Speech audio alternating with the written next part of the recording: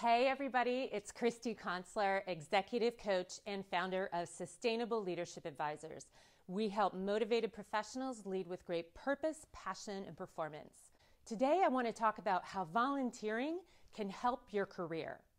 Now, there are four main ways that by getting volunteer experience, you'll actually round out your professional experience. And, and here are the four ways. The first is the ability to take on leadership responsibilities faster than you might in your day to day job. And let me give you an example of this. Um, a client that I work with is a marketing professional. She's a kind of mid to senior level marketing professional working for a large organization. With her volunteer role, she is actually taking the lead in terms of corporate outreach, fundraising, and sales. And so that type of opportunity, that level of responsibility, and the types of companies that she reaches out to, that wouldn't be possible right now in her current role that she works in day to day. But in her volunteer role, it gives her the opportunity to step into that leadership position and to get that experience more quickly. The second way that volunteering can help your career is that you'll gain exposure to new areas that you might be interested in that might be more difficult to do in your role. And I'll give you an example here as well. A friend of mine is on the national board of a prestigious organization. Her day to day role is in information technology, but she ran for and got the treasurer role on the board. And so this is helping her to round out her financial skill set that she really wanted. Um, she wanted to get that experience.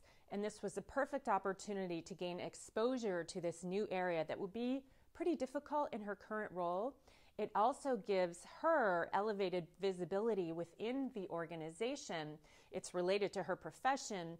And so if she ever wants to ascend, people within her organization will know that she possesses that skill set. So that's a great opportunity, um, a great example of how you can cross train and really have it help your overall career trajectory. The third way that volunteering can help you in your career is by expanding your network. So, oftentimes, if you're working within a volunteer organization that serves a particular group or that's industry related, you'll meet a lot of colleagues from similar organizations, and it just helps you to expand your professional perspective. It gives you access to a broader network, and that's always useful. Even if you intend on staying within your current company, it's always good to have your finger on the pulse of what sort of things are going on externally. What are peers doing to develop professionally? It's a great source of information, of contacts, of visibility to all of that. And then the fourth way that volunteering can help your career is that it gives you insight, it gets you in touch with your passion areas and new interests that maybe you hadn't thought to explore.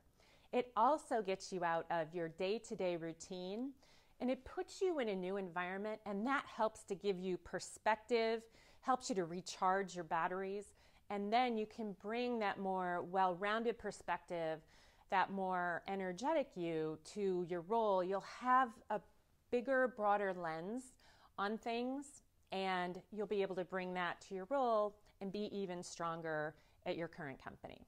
I hope today's tip served you. If you liked it, like it, share it on social media, and come on over to ChristyConsler.com and sign up for our weekly newsletter. Until I see you next time, go out and inspire yourself and others with how you lead your life.